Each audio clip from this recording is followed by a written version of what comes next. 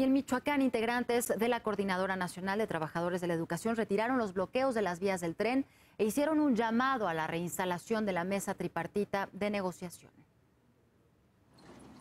La CENTE en Michoacán anunció el retiro este viernes de los bloqueos a las vías del tren para cumplir con la condición que fijó el gobierno estatal para restablecer la mesa de diálogo.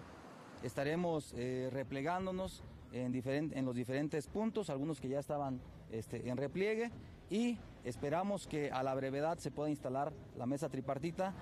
A las 8 de la mañana se pudo observar el retiro de lonas y tiendas de campaña de las vías del tren en la comunidad de Calzoncin de Uruapan, Michoacán. Solo resta que el gobierno de Michoacán fije fecha para la nueva reunión tripartita en la que los maestros podrán entregar a las autoridades sus nuevas exigencias para regresar a las aulas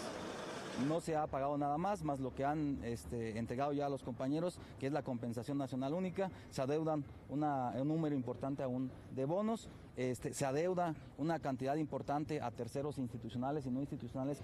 A las 10.30 de la mañana de este viernes, los maestros Isidoro y Juana de la región Lázaro Cárdenas de la coordinadora acudieron a la delegación de la Fiscalía General de la República en Morelia, Michoacán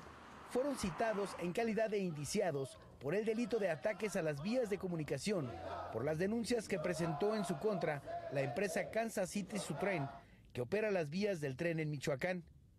Nosotros estamos cumpliendo con, los que, con lo que se nos requirió. Eh, se está asistiendo eh, por voluntad propia a comparecer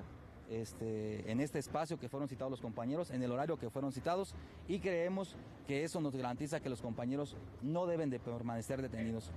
Carlos Guerrero, Noticieros Televisa.